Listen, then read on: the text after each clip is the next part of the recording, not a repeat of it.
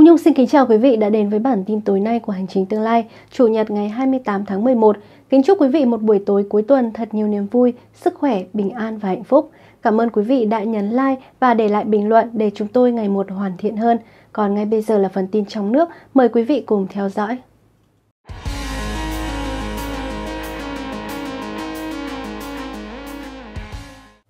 Trước tiên là phần điểm tin chính. Nam sinh sốc phản vệ sau tiêm vaccine COVID-19 ở Bắc Giang tử vong. Vụ hai máy bay va chạm, tạm giữ giấy phép của nhân viên phát tín hiệu. Ba quận ở thành phố Hồ Chí Minh tăng cấp độ dịch. Ca nhiễm gia tăng, Sóc Trăng lại cấm người dân ra đường vào ban đêm. Không dán thẻ thu phí tự động, ô tô không được đi vào đường cao tốc. Hỗ trợ thiệt hại bão chỉ 2.000 đồng, yêu cầu kiểm điểm từ xã đến huyện. Chiều ngày 28 tháng 11, Trung tâm Kiểm soát Bệnh tật tỉnh Bắc Giang xác nhận với VTC News, sau 5 ngày cấp cứu tại Bệnh viện Bạch Mai, MT, một trong những học sinh sốc phản vệ sau tiêm vaccine COVID-19 ở Bắc Giang đã qua đời. Trước đó vào ngày 24 tháng 11, ngành y tế tỉnh Bắc Giang tổ chức tiêm phòng vaccine COVID-19 cho học sinh cấp 3 tại trường Trung học phổ thông nội trú Sơn Động và trường Trung học phổ thông Sơn Động số 2 với khoảng 700 học sinh. Trong đó 4 học sinh tại hai trường bị sốc phản vệ, trong đó em T và em H cùng 16 tuổi, học sinh trường Trung học phổ thông nội trú Sơn Động xuất hiện các triệu chứng nặng như choáng váng, khó thở, đau tức ngực, buồn nôn, da tái. Sau khi được các nhân viên y tế tại địa phương sơ cứu, hai em này được chuyển lên bệnh viện Bạch Mai. Được biết sức khỏe của em hát hiện ổn định, hai em bị nhẹ còn lại được điều trị tại Trung tâm Y tế Sơn Động Bắc Giang. Đến chiều ngày 27 tháng 11, sức khỏe đã ổn định và đã được xuất viện. Hiện tại tỉnh Bắc Giang vẫn triển khai tiêm vaccine cho các học sinh.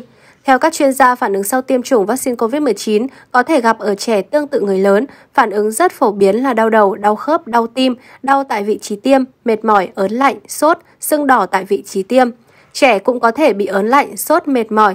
Tuy nhiên, chuyên gia lưu ý đối với vaccine Pfizer, thường sau tiêm mũi 2 sẽ xảy ra phản ứng nhiều hơn mũi 1. Và ngay sau đây là nội dung chi tiết. Sáng nay ngày 28 tháng 11, liên quan đến vụ hai máy bay Vietjet va chạm ở sân bay Nội Bài vừa qua, ông Trần Hoài Phương, Giám đốc Cảng vụ Hàng không miền Bắc thông tin nguyên nhân lỗi ban đầu là do tổ lái, do cơ trưởng điều khiển chuyến bay. Tuy nhiên, trong quy trình khai thác thì không chỉ tổ lái mà còn những bộ phận khác tham gia hiệp đồng. Theo ông, nhân viên đánh tín hiệu có vai trò quan trọng khi hướng dẫn máy bay vào vị trí đỗ. Phi công thực hiện các thao tác điều khiển máy bay di chuyển theo huấn lệnh của đài chỉ huy và phối hợp với tín hiệu lai dắt máy bay của nhân viên mặt đất. Ông nói, nếu nhân viên này kịp thời phát hiện máy bay lăn bị lệch đường để phát tín hiệu thông báo cho tổ lái dừng di chuyển thì có thể đã tránh được va chạm giữa hai máy bay. Chúng tôi đã tạm giữ chứng chỉ hành nghề của nhân viên đánh tín hiệu để điều tra. Trước đó vào tối muộn ngày hôm qua, truyền thông đưa tin hai chiếc máy bay của Vietjet đã va chạm với nhau trong quá trình hạ cánh xuống nội bài. Toàn bộ 120 hành khách và 7 thành viên tổ bay an toàn. Tất cả rời khỏi máy bay theo lịch trình. Tuy nhiên một đoạn mút cánh của một chiếc máy bay bị gãy rơi xuống sân đỗ. Hai máy bay phải dừng khai thác để kiểm tra kỹ thuật. Ngay khi sự việc xảy ra, Cảng vụ Hàng không miền Bắc đã lập biên bản tạm giữ bằng lái của phi công. Theo truyền thông trong nước đưa tin, thành phố Hồ Chí Minh vừa cập nhật kết quả đánh giá cấp độ dịch COVID-19 trên địa bàn. Cụ thể đến ngày 28 tháng 11, dịch ở thành phố Hồ Chí Minh đang ở cấp độ 2, Tại 22 quận huyện có 9 địa phương đạt cấp độ 1 nguy cơ thấp bình thường mới, 13 địa phương đạt cấp độ 2 màu vàng nguy cơ trung bình, 9 địa phương có dịch ở cấp độ 1 là quận 1, 6, 7, 8, 11, Tân Bình, huyện Bình Chánh, Củ Chi, Cần Giờ. 13 địa phương ở cấp độ 2 là quận 3, 4, 5, 10, 12, Bình Thạnh, Bình Tân, Gò Vấp, Phú Nhuận, Tân Phú, thành phố Thủ Đức, huyện Hóc Môn và Nhà Bè. Theo thống kê, ba địa phương tăng cấp độ dịch so với tuần trước là quận 4, Bình Thạnh và Tân Phú từ cấp độ 1 lên cấp độ 2. Một địa bàn giảm cấp độ dịch là huyện Cần Giờ từ cấp độ 2 xuống cấp độ 1. Theo đó, trên toàn địa bàn không có khu vực nào thuộc cấp độ 4. Trong đợt dịch bùng phát lần thứ tư đến nay, thành phố Hồ Chí Minh ghi nhận hơn 465.000 ca nhiễm. Số ca mắc mới ghi nhận trên địa bàn trong 2 tuần gần đây có xu hướng tăng trở lại, song ngành y tế đánh giá tình hình hiện tại vẫn trong kiểm soát. Sáng nay ngày 28 tháng 11, tỉnh Sóc Trăng đã ra thông báo về việc tăng cường biện pháp kiểm soát dịch bệnh COVID-19. Theo đó, tỉnh yêu cầu kể từ 21 giờ hôm trước đến 4 giờ hôm sau, người dân không ra đường, trừ các trường hợp cấp cứu, các lực lượng phòng dịch, phóng viên, biên tập viên các cơ quan báo chí, công nhân vệ sinh môi trường đô thị, xử lý sự cố về điện, nước, hệ thống thông tin và hạ tầng kỹ thuật, các phương tiện vận chuyển hàng hóa thiết yếu, phương tiện đưa đón công nhân của doanh nghiệp. Cùng ngày, tỉnh Sóc Trăng cũng quyết định phân loại cấp độ dịch từ 0 giờ ngày 29 tháng 11, chuyển từ cấp độ 2 nguy cơ trung bình vùng vàng sang cấp độ 3 nguy cơ cao vùng cam. Theo đại diện tỉnh Sóc Trăng, diễn biến dịch tại tỉnh ngày càng phức tạp, số ca nhiễm trong cộng đồng những ngày gần đây liên tục tăng. Điển hình vào ngày 27 tháng 11, Sóc Trăng ghi nhận 714 ca mắc mới, cao nhất từ trước đến nay, trong đó có 486 ca phát hiện qua sàng lọc cộng đồng, nâng tổng số ca mắc lên 15.656 ca. Theo báo Lao động, dự kiến từ ngày 1 tháng 4 năm 2022, tuyến cao tốc Hà Nội Hải Phòng sẽ được chọn triển khai thí điểm thu phí tự động không dừng, không có thu phí thủ công. Chỉ có phương tiện dán thẻ và nạp tiền sử dụng dịch vụ mới được lưu thông trên tuyến đường này. Thực tế tại các trạm thu phí hiện nay có hiện tượng làn thu phí không dừng thông thoáng, còn làn thu phí hỗn hợp thì lượng xe tiếp hàng để chở được qua trạm kéo dài thường xuyên từ 300m đến 500m.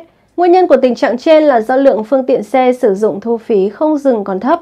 Thống kê từ đầu năm đến nay, lưu lượng xe sử dụng làn thu phí không dừng ETC tại cao tốc Hà Nội Hải Phòng chỉ chiếm khoảng 30% tổng lưu lượng. Nhiều xe có dán thẻ nhưng khi sử dụng lại hết tiền, thẻ bị hỏng, lỗi, dán sai vị trí không đọc được thẻ hay xe không dán thẻ đi nhầm làn. Đại diện VDF cho rằng để thực hiện từ chối phục vụ xe không dán thẻ đi vào làn ETC, đi vào cao tốc cần phải chuẩn bị đầy đủ cơ sở pháp lý thực hiện, tăng cường xử phạt khi người tham gia giao thông không tuân thủ. Theo một chuyên gia giao thông, với lưu lượng 30% xe đi vào là ETC trên cao tốc Hà Nội Hải Phòng, nếu từ chối phục vụ xe không dán thẻ thu phí tự động sẽ gây bức xúc cho chủ phương tiện nếu không tính toán thận trọng. Cũng trong sáng nay ngày 28 tháng 11, liên quan đến vụ việc một người dân được nhận tiền hỗ trợ thiệt hại do bão với số tiền chỉ 2.000 đồng, ông Vũ Văn Thẩm, đại diện huyện Phú Ninh, tỉnh Quảng Nam cho biết đã yêu cầu từ cấp xã đến huyện, Phòng Nông nghiệp và Phát triển Nông thôn kiểm điểm vì làm việc quá máy móc. Trước đó, bà Nguyễn Thị Kim Truyện, chú thôn Bình Thạnh, xã Tam Vinh, huyện Phú Ninh nhận hỗ trợ cây cối ngã đổ do bão năm 2020 chỉ với số tiền 2.000 đồng. Hình ảnh tấm giấy mời kèm với tờ tiền trị giá 2.000 đồng mà hộ dân này nhận được đăng tải trên Facebook khiến nhiều người ngạc nhiên. Quan chức địa phương cho rằng việc hỗ trợ là đúng theo quy định. Diện tích chuối bị thiệt hại của bà Chuyện chỉ 10 m2 nên chỉ nhận số tiền như vậy.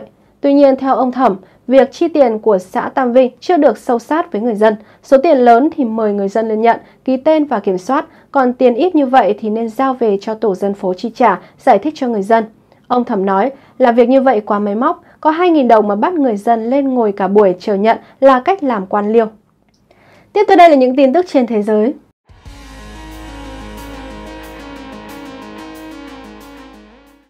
Trước tiên là phần điểm tin chính.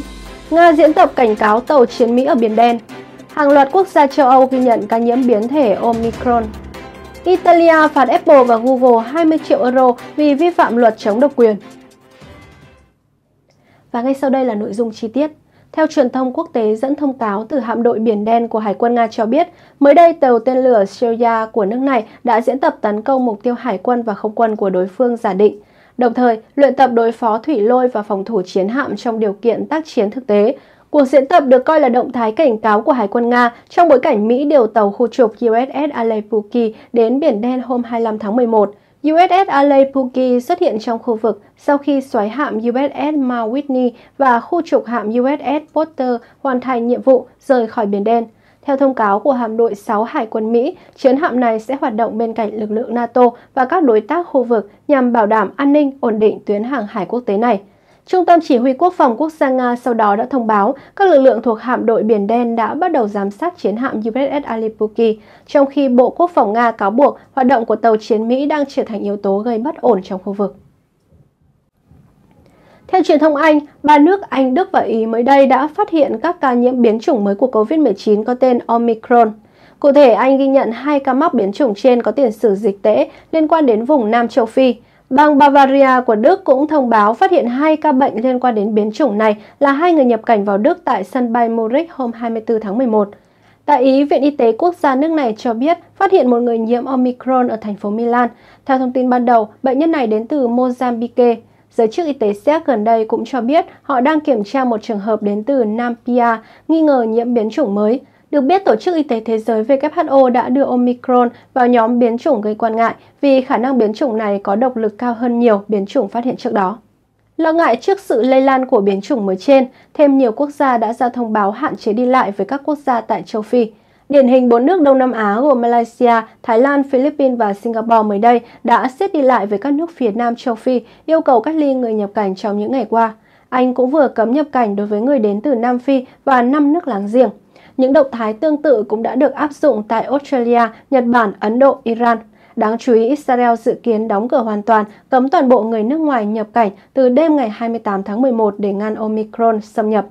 Trước đó, các nước Mỹ, Brazil, Canada và châu Âu đều đã áp dụng biện pháp hạn chế đi lại với miền Nam châu Phi. Theo truyền thông quốc tế, cơ quan chống độc quyền của Italia vừa qua đã công bố mức phạt 20 triệu euro, tương đương khoảng 22,5 triệu đô la Mỹ đối với các tập đoàn công nghệ Apple và Google của Mỹ. Cụ thể, trong một thông báo gần đây, cơ quan chống độc quyền trên cho biết lý do phạt hai tập đoàn trên, mỗi tập đoàn 10 triệu euro là do hai tập đoàn này đã vi phạm bộ luật bảo vệ khách hàng, bao gồm việc không cung cấp đầy đủ thông tin cho khách hàng và sử dụng các biện pháp mạnh, lợi dụng dữ liệu của khách hàng vì mục đích thương mại.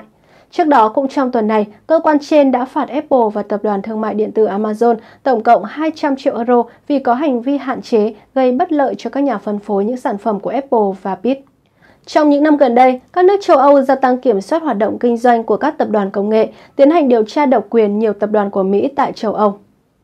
Trên đây là những thông tin trong bản tin tối nay của Hành trình tương lai và ngay sau đây, Hồng Nhung xin mời quý vị cùng đến với phần nhân sinh cảm ngộ.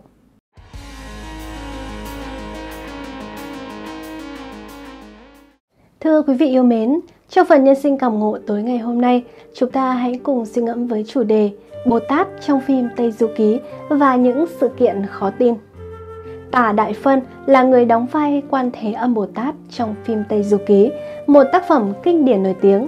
Dù đã trải qua hơn 30 năm với hàng ngàn lần lên sóng, nhưng bộ phim Tây Du Ký với phiên bản năm 1986 vẫn chưa bao giờ tạo cho người xem cảm giác nhàm chán, mặc dù trang thiết bị quay phim lúc đó còn rất thô sơ và một số hiệu ứng đặc biệt chỉ có 5 xu. Nhưng các diễn viên, đạo diễn và biên kịch đều làm việc rất chăm chỉ, có trách nhiệm, đã an tâm cho ra đời tác phẩm vĩ đại này. Khi đó, Tả Đại Phân được chọn vì hình ảnh của bà rất phù hợp với hình tượng Quan Thế Âm Bồ Tát. Bà có vẻ ngoài tử tế, yêu nhìn và phong cách lịch lãm đàng hoàng. Thời điểm đó, bà có đầy đủ phong thái như một nữ thần. Cho đến nay, vai Quan Thế Âm Bồ Tát của bà đã trở thành gương mặt mang tính kinh điển trong bộ phim này. Bà tâm sự, khi được giao vai Quan Thế Âm Bồ Tát, tôi không biết phải làm gì, đầu óc hoàn toàn trống rỗng. Sau đó tôi đi chùa, quan sát các bức tượng Phật, Bồ Tát, rồi học cách mỉm cười, cách nói sao cho ra chất của nhân vật. Tôi cũng tìm đọc những sách liên quan về Phật giáo và Quan Thế Âm Bồ Tát. Sau một thời gian nghiên cứu tìm hiểu, tôi đã tìm ra cách diễn. Khi đóng vai Quan Thế Âm Bồ Tát, tôi không chỉ sử dụng những kỹ thuật diễn xuất từng được học mà tôi còn diễn bằng tất cả trái tim mình. Cũng có thể thấy rằng với tư cách là một diễn viên, Tả Đại Phân quả thực rất có trách nhiệm và tâm huyết với vai diễn của mình, coi việc thể hiện Quan Thế Âm Bồ Tát là một nhiệm vụ rất thiêng liêng, quan trọng nên bà đã luyện tập rất chăm chỉ để sẵn sàng cho diễn xuất. Trên thực tế, nhiều diễn viên thời đó đã rất vất vả. Chính vì mỗi người đều có trách nhiệm trong diễn xuất nên mới có được tác phẩm kinh điển Tây Du Ký như vậy. Tả Đại Phân từng kể với truyền thông trong nước rằng khi bà đang trong tạo hình quan thế âm Bồ Tát để đến các vùng nông thôn quay phim, nhiều người dân tưởng bà là Bồ Tát hiển linh đã chạy đến quỳ trước mặt vái lạy. Trước những tình huống này, bà cảm thấy rất khó xử, nhưng cũng thấy tự hào vì sự hóa thân của mình đã được ghi nhận. Ngoài ra còn có rất nhiều điều kỳ lạ đã xảy ra vào thời điểm đó. Ví dụ, trời đang mưa rất to đến mức không thể quay phim được, đạo diễn cũng rất lo lắng. Nhưng khi bà vừa bước ra để chuẩn bị quay thì cơn mưa đột nhiên ngừng ngay lập tức. Tả Đại Phân kể có lần trời rất lạnh, bà vẫn thản nhiên bước ra diễn trong một chiếc áo sơ mi mà vẫn cảm thấy rất nóng. Khi những người trong đoàn phim nhìn thấy bà thì cũng tự động cởi hết áo khoác và trêu chọc rằng Tà Đại Phân là hóa thân của Bồ Tát đã mang đến hơi ấm cho mọi người. Bà còn kể, có lần tôi đến Tứ Xuyên để quay phim. Khi mọi người chuẩn bị quay thì bầu trời từ từ u ám sắp đổ mưa. Nhưng khi tôi bắt đầu ra diễn, bầu trời bỗng trong xanh ngay lập tức và thời tiết xấu lúc đầu như chưa từng xảy ra. Tà Đại Phân kể, Trường hợp của tôi và tiêu kính đẳng hoàn toàn trái ngược nhau. Nơi nào tôi tới thì bầu trời quang đãng, còn tiêu kính đẳng tới thì trời lại đổ mưa, nên Tiêu Kính đẳng được mệnh danh là thần vũ. Nữ diễn viên cho biết, ban đầu bà không tin vào thần Phật. Tuy nhiên những chuyện xảy ra khi đi làm phim đã khiến bà thay đổi dần cách nghĩ. Bà bắt đầu ăn chay trường và tu tâm tính, trở thành một Phật tử quy y Phật giáo, cắt đứt mọi thất tình lục dục và trở thành một người tu luyện nghiêm túc. Tại sao Tả Đại Phân lại có quyết định như vậy? Nhiều người hiểu rằng có lẽ do quan thế âm Bồ Tát đã cảm hóa bà nên bà không muốn thoát ra khỏi vai diễn. Có thể nói, Tả Đại Phân là một nghệ sĩ lão thành xuất sắc với tinh thần trách nhiệm cao. Hình tượng quan thế âm Bồ Tát của bà đã trở thành kinh điển trong lòng các thế hệ khán giả. Sau này, tuy có rất nhiều diễn viên đóng vai quan thế âm Bồ Tát, nhưng không có ai vượt qua được bà và chắc hẳn tác phẩm Tây Du Ký phiên bản năm 1986 sẽ không bao giờ bị lỗi thời. Quý vị nghĩ sao về chủ đề ngày hôm nay? Hãy để lại bình luận bên dưới quý vị nhé. Thưa quý vị thân mến, để bảo vệ sức khỏe cho bản thân mình, chúng tôi được biết luyện tập khí công là một phương pháp được hàng triệu người trên thế giới lựa chọn. Môn tu luyện khí công của Phật gia theo nguyên lý chân thiện nhẫn là điều mà Hồng Nhung lựa chọn với gia đình mình để có được một sức khỏe tốt, một tâm thái bình an. Với cuộc sống hiện đại vốn luôn bận rộn và nhộn nhịp, phương pháp này giúp Hồng Nhung sống chậm hơn, có những phút giây an hòa tĩnh lặng. Quý vị cũng hãy thử dành thời gian tìm hiểu xem sao. Nội dung chúng tôi có đề xuất ở phía trên màn hình. Xin cảm ơn quý vị rất nhiều đã luôn đồng hành cùng chương trình. Xin chào và hẹn gặp lại quý vị vào các chương trình tiếp theo trên kênh Hành trình tương lai.